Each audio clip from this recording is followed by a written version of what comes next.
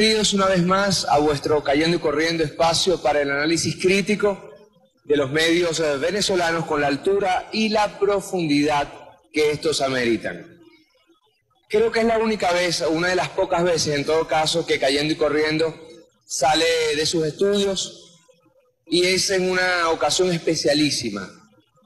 Venezuela, el eh, pasado viernes 2 de diciembre 2016, sufrió un ataque cibernético junto a otra, vamos a llamarla por el momento y respetando las investigaciones, incapacidad, entre comillas, de credicar. Hoy día nos encontramos en algún lugar eh, de Venezuela que por razones de seguridad eh, no vamos a revelar y también con un grupo de trabajadores que, cuyas identidades tampoco podemos eh, revelar por su seguridad y la seguridad de la empresa eh, CanTV. A quien sí tenemos aquí a nuestro lado es a su presidente, Manuel Fernández, eh, quien evidentemente se ha convertido en estas últimas horas, en estos últimos días, en uno de los protagonistas fundamentales de la comunicación venezolana, precisamente por este ataque mm, cibernético, que comprometió el 7% de la conectividad, atacando incluso eh, portales web sensibles como CanTV y con resultados en otros como por ejemplo eh, Telesur. Bienvenido, estimado Manuel. Muchas gracias, Miguel. Bienvenido aquí a este espacio, un espacio, un ambiente tecnológico con las condiciones que requiere nuestro país para estar comunicados los venezolanos y las venezolanas entre sí y en el mundo. Estamos en un centro de datos como este espacio en el que estamos, nosotros tenemos cinco centros de datos en el país. Y a lo largo y ancho del país, entre CanTV y Movilnet, tenemos 15.000 trabajadores y trabajadoras, patriotas, que defienden el derecho con su trabajo día a día, con su competencia y capacidad, el derecho que tenemos los venezolanos y las venezolanas a estar comunicados entre nosotros y con el mundo. De eso es de lo que se trata este espacio en el cual estamos ahorita. Son centenares de metros cuadrados que están conectados, climatizados, energizados y equipados para garantizar las comunicaciones del pueblo de Venezuela. Manuel, cuando uno se pasea por estos espacios, pareciera que estuviera en el siglo XXV, ¿no? Es una tecnología de avanzada, eh, son espacios complejos con niveles, como tú lo has dicho, de seguridad, de refrigeración eh, muy altos. Fueron a estos lugares, fueron a estos lugares que se les dio el ataque cibernético. ¿Nos puedes hablar para comenzar a contextualizar eh, eh, en qué consistió dicho ataque? en este caso estamos hablando de un centro de datos. El, el ataque no, no, se orientó hacia acá, sino que se orientó hacia PDVSA. Y al orientarse hacia PDVSA, nos tumbó tres de los 30 enlaces que tiene Venezuela. Esos enlaces están en otro centro de datos, de los cinco que te decía que hay a nivel nacional, están en, en otro espacio físico. Aquí sí están muchísimos lugares cuando digo lugares, estoy aludiendo como el hecho físico, digamos, servidores donde están alojados distintas páginas importantes para el país. Afortunadamente, las que están alojadas en este centro de datos en el que estamos no fueron afectadas. Por ejemplo, ¿cuáles están alojados en este centro de datos? Aquí tenemos banca y alimentación, en este caso. Una parte de la banca, Banco de Venezuela, una parte tiene, tiene su información aquí y nuestro sistema de alimentación del país está aquí. Todos estos racks que acabamos de pasar, donde vimos los cables rojos que están aquí y estos que están aquí se llaman, lo llamamos, está lleno como de términos en inglés, switching. Es el, digamos, el enrutamiento que sucede de todos estos servidores que están en esta sala hacia el mundo exterior para que puedan ser consultados y entregar información. Aquí en este espacio donde estamos hay 1.600 servidores físicos y hay 1.100 servidores virtuales, es un ejercicio que se hace sobre un hardware para crear una virtualización de, de, la, de las prestaciones que un servidor da. Que en definitiva un equipo que hace el procesamiento de los datos para que nosotros podamos ser unos usuarios a nivel sencillo. Lo que hacemos cuando, cuando tú accedes a una información, cualquiera, cualquiera que acceda a su correo o entre un portal de noticias, detrás de eso hay un servidor y una base de datos. Bueno, esos servidores y esa base de datos, una parte de todos los que tiene el país en CanTV están alojados aquí. Ahora, primer viernes del mes de diciembre. Viernes, además de quincena. Viernes de utilidades. ¿En qué consistió más precisamente eh, este ataque cibernético? Hay una modalidad de ataque que se llama denegación de servicio. Y es que hay gente que tiene la competencia y las capacidades tecnológicas y la mala intención para generar millones de requerimientos falsos, digamos. Y se le pone por delante, para hablar en un lenguaje coloquial, se le colea, se le pone por delante al usuario legítimo. Tres de nuestros 30 enlaces que tiene Venezuela con el mundo fueron atacados, fueron atacadas unas páginas y hicieron colapsar estos tres enlaces. Al hacerlo afectaron por dos medias horas, de una a una y media y de dos a dos y media en el lapso entre una y tres de la tarde del viernes al 7% de los suscriptores de ABA del país. Suscriptores de ABA y portales. Como te comentaba, uno de los portales que en, esa, en ese ataque cayó por 40 minutos fue el de Telesur. Estratégico, además. Así Estratégico. Ahora, ¿cuál es la diferencia, para clarificarle al pueblo venezolano, cuál es la diferencia que existe entre lo sucedido con este ataque cibernético y todo el tema de Credicar? A ver, la, la red de ABA. ABA significa, es una sigla que significa acceso de banda ancha. Es una marca venezolana creada aquí. Normalmente si vas a otro país nadie le dice al servicio de internet ABA, sino que se le dice servicio de internet o servicio de datos. Nosotros en Venezuela nos hemos acostumbrado a decirle ABA, siendo CanTV el marcador del mercado, marcador a nivel de, de terminología, inclusive de código. La red de ABA, que es una red de internet, trabaja en la modalidad de un medio limitado, como son todos los medios de telecomunicaciones físicos e inalámbricos, para poner muchas comunicaciones simultáneamente. Por tanto, es un medio estadístico, donde por estadística, modelos matemáticos muy complejos, somos capaces de conectar, somos capaces la humanidad. En Venezuela 2,5 millones de suscriptores y en el mundo más de 4 mil millones, por medios limitados, poner nuestros requerimientos de datos de ida y vuelta, lo que requerimos y lo que nos entrega la red. Las redes interbancarias y las redes normalmente que están asociadas a lo productivo no pueden trabajar por vía estadística, sino que trabajan por vía exclusiva. Por tanto, la red interbancaria del mundo y de Venezuela tiene recursos asignados de manera exclusiva. Por tanto, un ataque que nos hicieron a ese 7% por esas dos horas afectó la navegación de, esa, de ese grupo, con lo impactante que es, pero no afectó la red interbancaria, que es una red dedicada, es una red con medios y tecnología dedicada. Por tanto, son dos cosas distintas. Lo que sucedió con la práctica inhabilitación de los puntos de pago del país, de más de la mitad de ellos, más de la mitad, en el país hay 311 mil puntos de pago. Y Credicar tiene en torno a 200 mil puntos de pago, por tanto tiene más de la mitad. Al no funcionar durante el viernes la plataforma de pago de transacciones de Credicar, estuvimos en un problema como país, con la irritación social que significa en un viernes de quincena no poder pagar a través de los medios electrónicos. Coincidencialmente, ese día tuvimos ese ataque a la 1 de la tarde a la plataforma de Internet, para esto ya relatado, para este 7% en estos dos lapsos de, de 20, 30 minutos. Es importante lo que tú nos estás aclarando, porque se ha querido incluso vender, Manuel, que la falla, la falla de Credicar se debe a una falta de conectividad, responsabilidad de CanTV. Quiero que seas incisivo en esto, ¿no? ¿Tiene algo que ver directamente la conectividad de CanTV con Credicar? Sobre todo porque escuchándote entiendo que siempre estuvo arriba la conectividad de CanTV cuando estuvo abajo Credicar. Te digo voy un poco más allá en lo que te voy a decir ahorita, Miguel Ángel. Cuando comenzó, cuando, cuando era evidente que teníamos un problema con los puntos de pago a nivel nacional, yo le pedí a mi equipo, yo estaba en un viaje de inspección en Sucre, en el estado Sucre, y le pedí a mi equipo que con mucho rigor revisara cómo estaba la conectividad que estábamos brindando a la banca.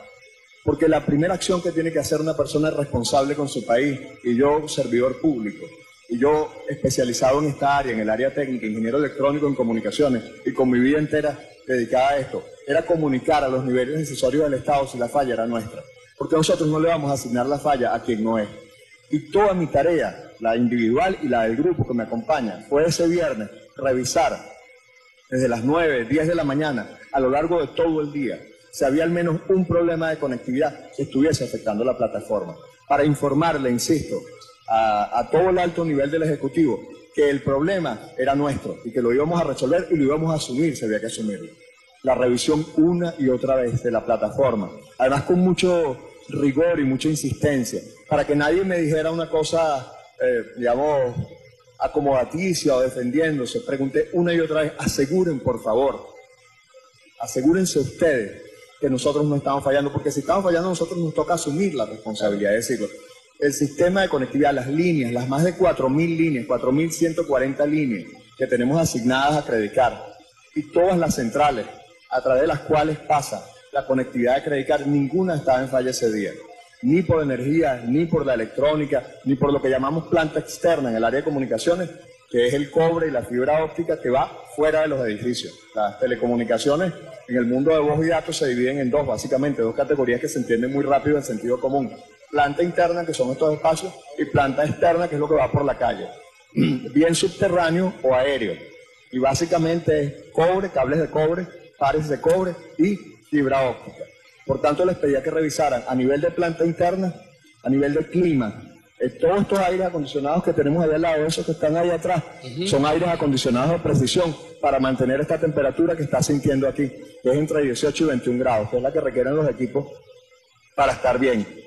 Por tanto, les pedía que chequearan energía, aire acondicionado, conectividad y operatividad de los equipos. Y nunca, nunca tuvimos una falla. Si la hubiésemos tenido, hubiésemos sido los primeros en reconocerlo. Ahora, entonces, vamos a ir resumiendo de forma pedagógica. Se da una coincidencia de eventos. Credicar con un eh, ataque cibernético, un ataque informático que deja al 7% del 100 sin conectividad, entre ellos Telesur. Vamos por parte para entendernos. Ahora, en ningún momento la conectividad que Cantebé le presta a Credicar se vio limitada. Nunca. Nunca. Ok. Esto me obliga a hacerte otra, otra pregunta. ¿Existe relación, comunicación, existen reuniones, mesas de trabajo entre Cantebé como plataforma tecnológica y la banca venezolana pública y privada ¿Cuáles han sido las últimas reuniones, encuentros, si es que han habido, que ustedes han tenido con la banca? El fin de semana pasado, como país, tuvimos un aviso de las fallas que podía haber por el alto volumen de transacciones que hay en este tiempo. Y la superintendencia de bancos, Sudeban, nos convocó a una reunión el martes a las 2 de la tarde. Tres días antes del viernes. Así es. Y ese día, generalmente, eso lo asume el nivel alto medio de CanTV, vicepresidentes, gerentes generales y gerentes técnicos asumen esa relación. El martes estuve yo directamente en esa, como la convocó la superintendenta, y era una cosa importante porque habíamos tenido un aviso el fin de semana pasado, porque hubo un nivel de congestión, fui directamente a la reunión. Frente a los problemas concretos que planteó la banca a las 2 de la tarde, yo los convoqué a una reunión a las 5 de la tarde, el mismo martes. Y a partir de ahí empezamos a levantar requerimientos y pusimos tres escenarios de tiempo. Un primer escenario que era el fin de semana, este que pasó, donde decíamos que teníamos que hacer todas las acciones con urgencia para resolver cualquier eventual problema que le causara irritación a nuestro pueblo. Uno segundo, que es que en la dinámica de las relaciones con mucha, digamos, mucha cantidad de eventos y proyectos, hay proyectos que se quedan, proyectos que avanzan más rápido, dije, hagamos un levantamiento de todos los proyectos que tenemos, de todos los servicios pendientes que tenemos. Y eso era el mediano plazo. Y después la mayoría, casi el 70-80% de las líneas telefónicas en Venezuela que están dedicadas a los puntos de venta son líneas telefónicas normales, analógicas, a través de los cuales, por un sistema que se llama Dialog, que es pasar datos por una línea telefónica, se hacen las transacciones bancarias. Y necesitamos nosotros como país modernizar estructuralmente todo el sistema de transacción bancario. Por tanto, quedó claro desde ese martes en la tarde que teníamos tres horizontes de tiempo. El fin de semana, lo que queda del año 2016, inicio del 2017 para todos los pendientes y una transformación estructural del proceso de transacción bancaria, que es una cosa que tenemos que hacer a lo largo del 2017. ¿Dónde nos encontramos en este momento, Manuel? Sí, Miguel Ángel, estamos entrando a la sala cofre de Cantebe. Esta es una puerta de un blindaje especial, tiene sistemas especiales de detección de incendios, tiene un aire acondicionado más preciso. Aquí está la data más crítica de CanTV. ¿Por qué más crítica? Está la base de datos de usuarios, están las aplicaciones más críticas. decenas de dispositivos de almacenamiento, decenas de servidores y decenas de bases de datos que permiten que nosotros mantengamos comunicados a los venezolanos a través del talento venezolano, que es quien administra esto, a los venezolanos y venezolanas entre sí con el mundo. Tenemos a hombres y mujeres muy competentes administrando esta red cada día. Ahora, si uno ve este tipo de, de aparatos, irremediablemente tiene que pensar en las personas, uno, que los instalaron. Así es. Y dos, que siguen haciendo un mantenimiento. Eh, fíjate, Miguel, nosotros estamos en un área que administra gente de CanTV. Nuestro comandante Chávez, desde la sede principal de CanTV, el 21 de mayo del 2007, renacionalizó CanTV. El 21 de mayo del próximo año 2017 se cumplirán 10 años de eso. A lo largo de estos nueve años y medio, hombres y mujeres trabajadores de CanTV, con sentido patriótico, con sentido de país, con amor por su patria, hacen cada día el trabajo de instalar, mantener y gestionar todos estos equipos que ven aquí. En su mayoría han sido comprados en este tiempo, en su mayoría han sido instalados en este tiempo. Han sido el ejercicio y el esfuerzo del Estado venezolano para mantener las comunicaciones a la altura y en la necesidad que nuestro pueblo y nuestro país necesita en su construcción y en su proyecto de hacer una patria mejor, el país potencia que el comandante Chávez nos declara y nos invita y nos insta y nos instruye a hacer en el plan de la patria. Estamos hablando de una tecnología de punta. Eh, me decías tú, eh, fuera de cámara, que solo cuatro países en el mundo son fabricantes de gran parte de la, de la tecnología que estamos viendo. ¿Cómo es el proceso de formación? Incluso te llamo a capítulo a ti mismo. ¿Cómo es el proceso? ¿Cuál ha sido la experiencia del presidente de CanTV, de tu persona? y también de los trabajadores, de los gerentes que llevan, que llevan esto, porque existe el mito de que esto cayó del cielo o de que esto simplemente se heredó y por mala gestión se ha venido viniendo a menos. Sí, Valga yo soy ingeniero electrónico en comunicaciones, graduado en el Politécnico de Barquisimeto. Tengo casi 24 años de graduado y toda mi vida he estado trabajando en el área de las comunicaciones, en radio, en televisión y en empresas de telecomunicaciones. En particular mi experiencia con CanTV es que el primer día de la renacionalización, cuando el comandante Chávez estuvo aquí, yo fui parte de la directiva, era director suplente de ellos, que a lo largo de los nueve años y medio que CanTV ha estado en manos de servidores y servidoras públicas venezolanos, he estado yo en algún rol en esta tarea, director suplente, director principal, vicepresidente y presidente de CanTV. Y hemos ido conformando, se venía conformando y se sigue conformando un equipo de gente muy competente y comprometida. Me preguntabas cómo era la formación, hay por lo menos tres fuentes de información, cuatro quizás. Una, que es la formación académica que cada quien tiene. Tenemos muchísimos profesionales, magíster y doctores aquí en CanTV en áreas muy especializadas. La segunda, cuando compramos estos equipos se hacen cursos especializados del equipo, operación del equipo. La tercera, mandamos gente al exterior para cursos en general, no solo específicos del equipo, sino del área en general. Digamos, yo puedo comprar una base de datos o un dispositivo de almacenamiento y formar a la gente en eso. Y también puedo formarlo en base de datos o en dispositivo de almacenamiento de manera general. Y la cuarta, quizá una que cuando uno se acerca lo conmueve, lo emociona, le hace a uno conectarse con los mejores registros de la gente, que es como trabajadores de más experiencia de CanTV enseñan a las nuevas generaciones. Que está fuera del ámbito académico, fuera del curso formal cuando compra el equipo y fuera de los cursos que hacemos en el exterior y aquí, y es que día a día este es un lugar que genera mucho conocimiento. Y ese conocimiento se intercambia de hombres y mujeres que tienen 25, 30 y 35 años, que han visto pasar cuatro o cinco generaciones de tecnología y que tienen una formación muy sólida en lo académico y en la experiencia de vida, de trabajo, y forman a nuestros nuevos muchachos. Y eso genera que nosotros tengamos una, se toma el concepto de la física atómica, una masa crítica.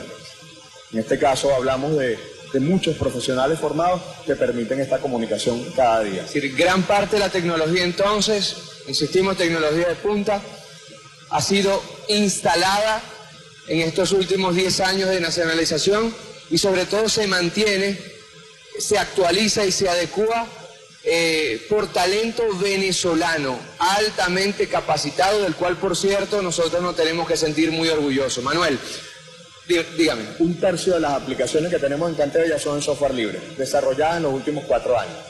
una de cada tres aplicaciones. Y tenemos un proyecto donde diariamente estamos vigilando y atendiendo cómo vamos migrando de los software privativos, algunos inevitablemente privativos por los que pagamos, a software libre desarrollado por talento o de CanTV o talento nacional. Es una vía que va en el camino de la independencia tecnológica y de la soberanía que te da el conocimiento, la verdadera.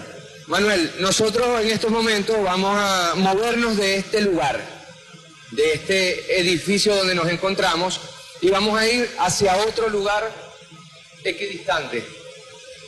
Eh, te dejo una pregunta en el aire. Sabemos que hay una guerra financiera contra Venezuela, que se traduce también en guerra diplomática contra Venezuela. Existe una guerra mediática contra Venezuela.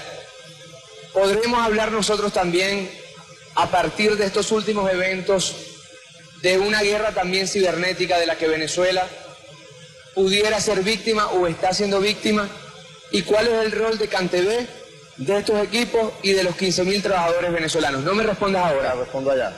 Vamos a movernos hacia otro lugar que no podemos revelar y vamos al regreso entender cuáles son los desafíos de Cantebé en medio de esta complejidad. No se me muevan, ya venimos.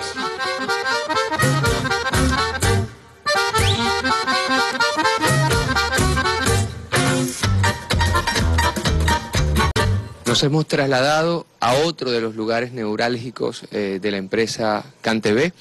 Y Manuel, te reitero la pregunta eh, que dejamos en el aire.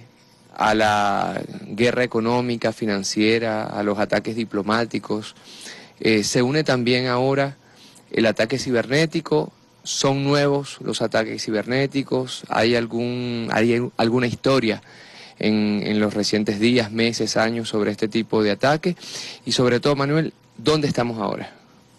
Ah, lo primero, este, yo creo que se hay una dimensión cibernética de esta agresión interna y externa a Venezuela por nuestra voluntad y nuestro derecho a caminar con pies propios y a tener un plan de país y de patria hecho por nosotros mismos y para nosotros mismos. Hay evidencia, te pongo un dato significativo y que fue un pico en eso. En 2014, en esa estrategia que ellos denominaron la salida, que comenzó en febrero del 2014, cuyo saldo más lamentable y doloroso son 43 personas fallecidas y centenares de heridos, y mucha intranquilidad para el país. Hubo en las primeras tres semanas 210 ataques a nivel de informática, básicamente de negación de servicio, que es artificializar solicitudes y colapsar servidores y enlaces de de enlaces de comunicación. Eso fue lo que pasó el viernes pasado también. Por tanto, es frecuente tener ataques cibernéticos y también se ha vuelto frecuente que nuestros hombres y mujeres técnicos y técnicas formados y, patriotas nos defiendan de eso. Por tanto, es una cosa que sí viene sucediendo y venimos mitigando en cada oportunidad. Y es proporcional, Manuel, es decir, a mayor complejidad política, mayores ataques cibernéticos, es decir, las guarimbas hizo disparar los eh, ataques cibernéticos esto, esto hay una linealidad. Sí, no, no me arriesgaría a decirte así con rigor, como quien tiene un histograma o una gráfica al frente, que es así. Pero de memoria puedo decir que se intensifican en los periodos de, conflictividad generada por, por, quienes atacan nuestro proyecto de patria. ¿Y los objetos eh, de ataque son empresas nacionales, son particulares? Normalmente son páginas significativas para el país y para el funcionamiento normal del país ya por la vía informativa o por, lo, o por la importancia funcional que tienen para, la operatividad diaria de, los venezolanos y las venezolanas. En el caso, en el caso de Credicar, ¿no? Eh, existe, primero pregunto si existe y segundo te pregunto si se puede hacer pública en el caso que existe, una relación entre CanTV y Credicar, entre la empresa y Credicar como usuario. Sí, nosotros somos proveedores de un enorme porcentaje de, los servicios que ellos tienen. De los 11 nodos que tienen a nivel nacional, 9 los conectamos nosotros. En mi mano tengo la bitácora de la relación de CanTV y Credicar en el 2016, donde ha habido por lo menos casi una reunión mensual viendo los proyectos para atender servicios y para hacer crecimiento de la red, donde se ven las dificultades del día a día, las soluciones del día a día y la fluidez y la cotidianidad de la, de la relación que hay entre una empresa como el Consorcio Credicar y una empresa como Cantv que presta conectividad a 327 mil empresas a nivel nacional. Y CanTV tiene 10,3 millones de suscriptores. 10 millones son personas naturales en telefonía, alámbrica, inalámbrica e internet. Y 327 mil son personalidades jurídicas, tanto del Estado como de empresas privadas. Y entre todo eso nosotros obviamente tenemos que atender con, con más recursos a las empresas grandes, públicas y privadas. Y una de ellas, a la que le hemos venido dando atención a lo largo de los años, de las décadas, es a, es a Credicar. ¿Algún evento en el pasado con Credicar que nos creara suspicacia en esta relación con Cantv? En relación con Cantv no guardo memoria ahorita de, digo, los problemas las tareas diarias con sus problemas y sus soluciones, es lo que, lo que tengo como registro. Y, y, entonces ha habido una comunicación fluida, una... Así es, así es. Eso es importante, insisto, y, quiero de verdad insistir en ello por, por el tema de las matrices de opinión, ¿no? que quieren eh, vincular eh, el fenómeno Credicar del pasado viernes 2 de diciembre con el tema de la conectividad. ¿Dónde estamos? Estamos en el centro de operaciones de la red. Esto, aquí hay en torno a 40 trabajadores 24 horas al día hay gente en sus puestos de trabajo. Ellos están mirando, son los ojos y los oídos de CanTV. Ellos están mirando la red nacional. Esos 304 edificios que componen todas las centrales telefónicas de CanTV, los 20.000 kilómetros de fibra que tenemos desplegados, los casi 5 millones de líneas alámbricas, las 3 millones de líneas inalámbricas, el casi millón de suscriptores de la televisión directa al hogar, los 2,5 millones de suscriptores de ADA, su funcionamiento es visto desde aquí. 24 horas al día, 365 días al año, donde en este escritorio que tenemos aquí, en este centro de mando, están los jefes de turno y en los puestos esta gente que verifica cómo está la energía, cómo está el aire acondicionado, cómo están los enlaces de fibra óptica, cómo están los equipos especializados. Cualquier incidencia que ocurra a nivel del país, aquí es detectada y desde aquí se da la información calificada, precisa y exacta a nuestros técnicos en el territorio, que son más de 6.000 técnicos a lo largo y ancho del país que su imagen más icónica, más representativa, es una camioneta blanca con una escalera arriba y una persona con una camisa azul y un blue jean que sale a la calle a hacer eh, las tareas propias. También hay gente que trabaja en espacios cerrados y no tiene esta, como esta representación icónica que estoy diciendo, entre, como digo, los 15.000 trabajadores, hay por lo menos 6.000, 7.000 que están en la calle y el resto están en las oficinas, en tareas administrativas y en tareas técnicas. Desde este lugar se mira esa red completa y se mira como casi como un cuerpo vivo. Esto es como el centro nervioso de toda la el despliegue, la capilaridad que tiene eh, la empresa nacional, nacionalizada, renacionalizada por la voluntad política y un acto soberano de nuestro comandante Chávez y que ha seguido apoyando a lo largo de estos años nuestro presidente Nicolás Maduro. En el lugar en el que estamos, además, eh, ocurrió en tiempo real todo el monitoreo del pasado viernes, Así 2 de diciembre. Fue desde aquí precisamente que se comenzaron a ver los síntomas, se crearon los diagnósticos. ¿Nos puedes hablar un poco de eso en tiempo real que pasó en todo, eso, Seguro. todo ese viernes? Aquí hay una aplicación que nos cuenta eso exactamente. Fíjate, esta aplicación que está aquí, esa gráfica que vemos ahí, se ven las horas del día. 14.44, que 2 y 44, un cuarto para las 3, 5 y 29, 20, 17.29, que significa 5 y media, en torno a las 5 y media, 8. Esto es el día de ayer. Después viene la madrugada, son las 4 de la madrugada y vuelve a subir hacia las 8 de la mañana el tráfico. Este es un enlace. Este enlace tiene este uso. Este aquí está en torno a un giga este enlace. ¿Qué es lo relevante de esta aplicación? Si se logra ver en la cámara que hay tres colores distintos, notorios. Un azul claro, un azul oscuro y un verde. Y aquí hay una lista. Esta lista son protocolos, son números y letras que indican protocolos lo significativo, el azul y el azul, el azul oscuro y el azul claro, son suscriptores de ABA que en este momento están navegando en una página web. Y lo verde son suscriptores que están pasando por algún mecanismo de seguridad, abriendo una, red virtual, una VPN.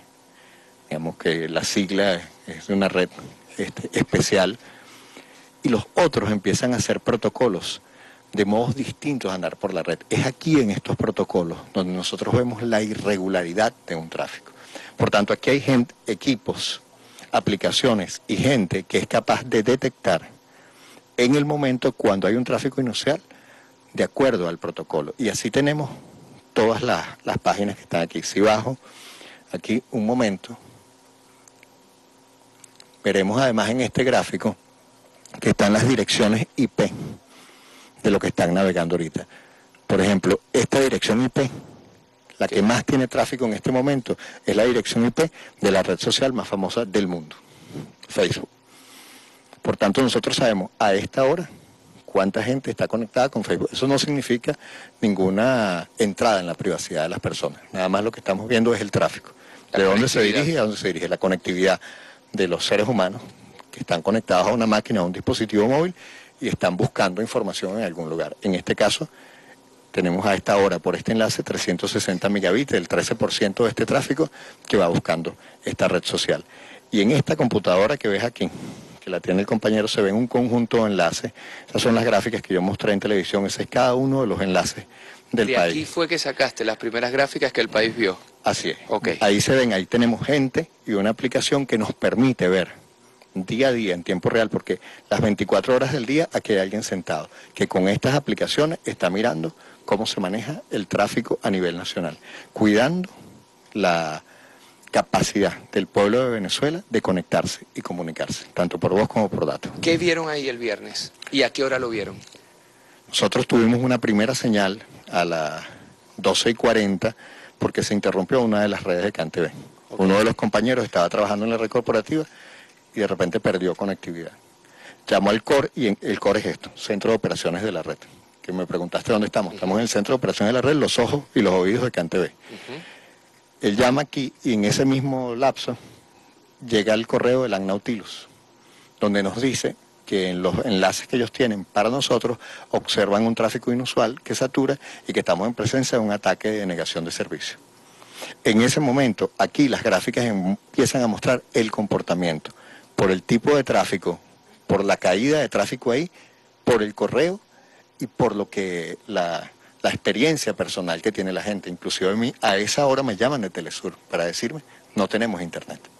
Me llaman directamente de Telesur. Por tanto, te, te hablo de cinco evidencias, desde las eh, conversacionales hasta las científicas. Y Nautilus, de alguna manera, como es una empresa internacional Así es, que da fe, que da fe del ataque. Que alerta, sí, da fe del ataque. Es un punto importante. Y alerta, como es normal, la Nautilus es una empresa internacional de, de, de Telecom, Italia, con operación en todo el mundo, en un ejercicio de responsabilidad en lo que nos provee a nosotros, nos informó, nos alertó que en los enlaces que tiene con nosotros había un comportamiento inusual. Y nosotros, mientras ella lo avisaba, ya lo estábamos viendo y lo estábamos gestionando. ¿Qué se hizo para sortear este ataque por parte de CanTV? ¿Cuáles fueron las acciones? Como normalmente identificas muy rápido cuál es la IP por la cual te están atacando, lo que haces es bloquear esa IP, porque sabes que esa IP está siendo utilizada para vulnerar tu red, alguna página o algún elemento de tu red. E inmediatamente hay mecanismos para bloquear esa página y eliminar el daño. Una vez que entra y que generas el ataque, logras la denegación de servicio, pero por eso restablecimos en menos de dos horas ya estaba restablecido el tráfico de ese 7% que estuvo afectado en un momento. Ahora, esto es un detalle importante.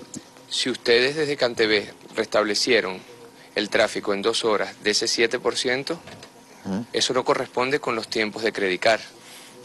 No, no, es que son temas distintos, lo hemos dicho. Por eso, para, para, para desvincularlo. Si, si, si, fue el 7% de CanTV que se solucionó en dos horas, no tiene que ver con el 70% de los puntos que se solucionó en cuánto tiempo. En unas 12 horas. En unas 12 horas. Y ahí hay un primer elemento científico comparativo. Así es, en la mañana del viernes el, país sabe que, que tenemos dificultades, lentitud, congestión en los medios de pago electrónico de toda la banca del país. Y este ataque sucede a la una de la tarde. Este, sucede a, a las 12 y 58 es el correo de, del Nautilus. Y a las 12 y 40 nosotros empezamos a detectar los primeros síntomas. Y la gráfica, el, histograma se llama eso, que es el diagrama de la historia, el histograma. El histograma diario, que muestra las 24 horas.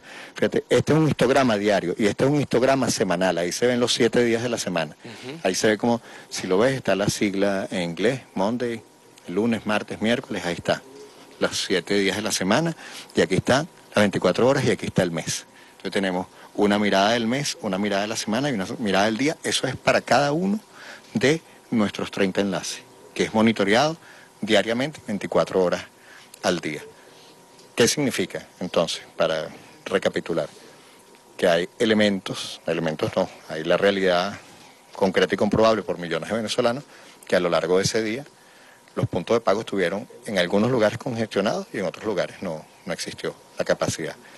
Y el servicio de CanTV en la mañana a lo largo y ancho del país este, estuvo bien. Yo tengo que diferenciar, eh, Miguel Ángel, que eventualmente nosotros tenemos problemas. nosotros en algunos lugares hay vandalización de cables. De las 304 centrales telefónicas, alguna falla. El aire acondicionado, la energía. Tenemos problemas diariamente, problemas para los cuales tenemos 15.000 hombres y mujeres para trabajar, trabajar y gestionar. Pero en la mañana del viernes no falló la plataforma de Internet, sino hasta el ataque a la, detectado en torno a la una de la tarde. Y la red que sirve, no digo solo Credicar, que, es lo que está como más en boga por, lo evidente, las cinco plataformas, la, la, del Banco de Venezuela, la de Banesco, la de Mercantil, estuvimos en comunicación diaria con Telefónica, Movistar, que provee también conectividad a la banca. Por tanto, las telecomunicaciones de las distintas empresas de telecomunicaciones para servir a las distintas plataformas de pago del país, Credicar no es la única, estuvieron operativas las plataformas. Otro dato importante.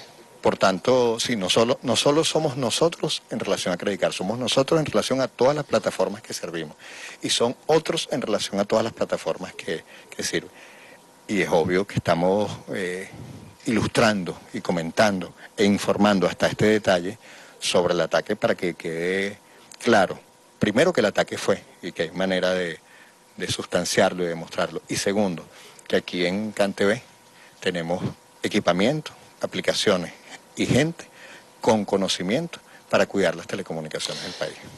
Ya para ir cerrando, eh, los hechos, porque de esta conversación se deriva que no es un hecho, sino que son varios hechos, eh, que se generaron el viernes, crearon mucha zozobra y está el factor psicológico, que acaso no tiene que ver con estas máquinas, con estos instrumentos, con las experticias de, los especialistas venezolanos de Cantebé, sino que tiene que ver con el elemento subjetivo, con el elemento de, de percepción íntima de la realidad. Y por eso te pregunto también para despejar esas preocupaciones. Uno, Cantebé espera otros ataques cibernéticos en las próximas horas, en los próximos días, en los próximos meses.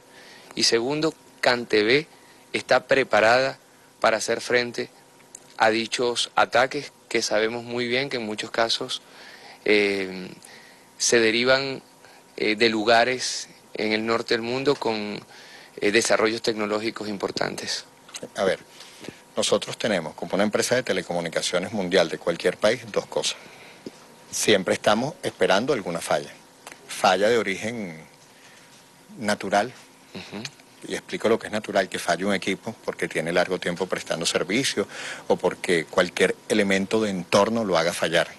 Para eso están estos centros de operaciones, para mirar la red y atender las fallas que van a suceder. Quizás la palabra natural no es la mejor, pero eh, lo esperable que suceda en los equipos electrónicos. Todo equipo hecho por el hombre es susceptible de que falle. Por tanto, tienes un centro de operaciones para detectar las fallas que eventualmente sucedan y para detectar también las fallas que te inducen maliciosamente deliberadamente, voluntarios de alguien, para eso también tiene. Físico, estructural, es para eso. El segundo elemento, ¿esperamos más ataques? Siempre esperamos ataques, porque hay ataques de todo tipo, hay ataques con intencionalidad política, hay ataques con intencionalidad inclusive económica, el fraude eh, electrónico a nivel del mundo es enorme. Hoy en día es uno de los delitos que, internacionalmente se está identificando como los que tiene mayor crecimiento en el mundo, por tanto tenemos que tener tenemos que estar atentos a cualquier tipo de ataque, en particular a los que intentan quebrantar la calma de nuestra patria. Por tanto, no, es ni, no sabemos cuándo será ni cómo será, pero sabemos que tenemos que estar ojo abierto y avisor las 24 horas al día de todos los días, y lo estamos. Lo segundo que me pregunta, ¿estamos capacitados para hacerlo? Tenemos la gente, tenemos los equipos, tenemos las aplicaciones y sobre todo tenemos el amor por esta patria y la voluntad de cuidarla y de cuidarla de la mejor manera. La trinchera que le toca a los hombres y mujeres del área de tecnología de información y comunicaciones es cuidar que seamos capaces de comunicarnos cada día y a cada hora. Haremos nuestro mejor esfuerzo, lo hemos venido haciendo, lo ha venido logrando este colectivo inmenso de, el equipo de CanTV lo ha venido logrando a lo largo de estos años. Esperamos seguirlo logrando, esperamos ser capaces porque, insisto y lo reitero, tenemos el conocimiento, tenemos la voluntad y tenemos el amor por esta patria para defenderla en este rol en el que nos ha tocado. Bueno, Manuel, te quiero agradecer, te queremos agradecer en nombre del equipo de Cayendo y Corriendo por la disponibilidad, por eh, habernos hecho entrar en lugares no comunes, no comunes y mucho menos para los comunicadores. Eh, y también agradecer a las 15.000 personas, esos 15.000 venezolanos que día a día trabajan por la conectividad de, los venezolanos, es decir, por hacer también comunidad. No sé si quieres tú darnos unas palabras finales en nombre de CanTV. Agradecerte a ti, Miguel Ángel. Este, tu interés además. Hay, cosas que no salen en cámara, pero son todas nuestras conversaciones de estas horas. Las preguntas que hiciste, la precisión con la que has intentado y logrado indagar y que de alguna manera mostraremos a, tu audiencia. Eh, eso lo quiero agradecer a ti y al equipo que te acompaña. Es una manera de contarle al país una cosa que usualmente no contamos. Queda como un esfuerzo que está allá detrás, entre bastidores. Y entre bastidores hay mucha gente que sostiene el país. Entre otros, esas 15.000 personas de CanTV que sostienen una empresa que logra interconectarnos. ¿Qué pasa por las comunicaciones? Nuestras emociones, nuestra formación, nuestra recreación, nuestra información, nuestra tranquilidad. En muchísimos casos está basada en la capacidad de comunicarnos escuchar la voz de tu mamá, escuchar la voz de tu esposa, de tu hijo, escuchar la voz de quien quiere, escuchar la información que necesitas, recibir que conseguiste un trabajo o que tienes cupo en una universidad. Todo eso llega por las comunicaciones. Por tanto, la labor patria que se hace aquí es para que 30 millones de personas que viven en este país estén tranquilos cada día en cuanto a la comunicación respecta. Y lo hacen con conocimiento, lo hacen con pasión, lo hacen con dedicación, lo hacen con compromiso. Eso es lo que a través de ti y agradeciéndote hemos querido mostrarle a nuestro querido país, a nuestro amado país, que aquí hay equipamiento, gente y aplicaciones para seguir defendiendo esta patria y construyéndolo, para ser el país potencia que ya nos ha anunciado Bolívar, que nos reiteró Chávez y que estamos determinados a construir. Gracias, Miguel Manuel. A ti, Miguel Ángel.